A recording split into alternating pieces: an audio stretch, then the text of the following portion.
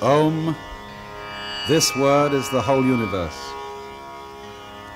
It is explained that everything past, present, and future is the sound Om. And whatever is beyond these three divisions of time, that also indeed is Om.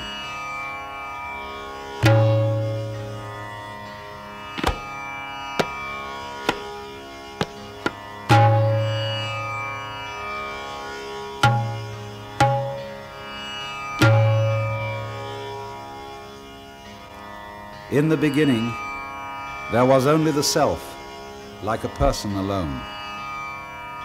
Looking around, it saw nothing other than itself. It first said, I am.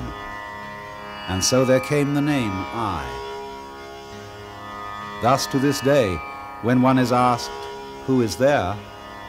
he replies, It is I, and then gives what other name he may have. The self was afraid, as one who is alone is afraid. But it thought, Since there is nothing beside myself, of what am I afraid? Whereat the fear vanished. For what could it have feared? Fear can come only from something other.